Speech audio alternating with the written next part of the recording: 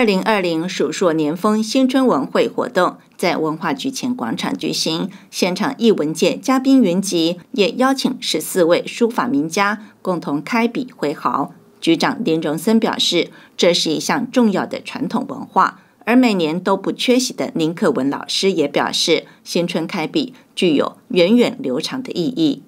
卫福部门也并没有建议呃各大型活动停办，那么我们县府啊也呃进行研议哈，所以我们决定啊今天继续来办呃二零二零的新春文会的活动，最主要是要呃来提醒学子们哈啊在新的一年啊即将开学之前哈，那我们呢应该要懂得尊师重道。新春文会还有一个新春开笔，已经有将近有文化中心的以后。这个活动就已经每年都举行，宁可先生从来没有不参加。我今年已经九十岁了，这个活动全南投县的艺文界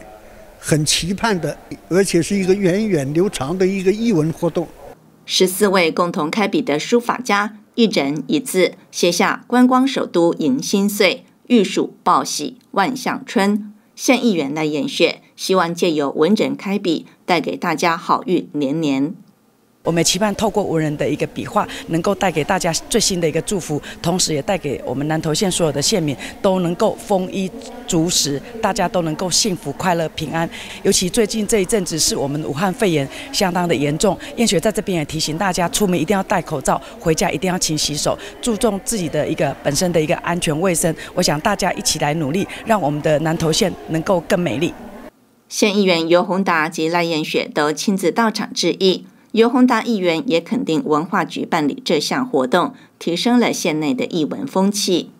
啊，今天感谢了咱南投县政府、咱文化局林荣生局长啊，极力推广咱南投县文化的气息，希望能够在我们文化局的宣传之下，培育出更多的文化界的好朋友，大家能够在南投县茁壮成长。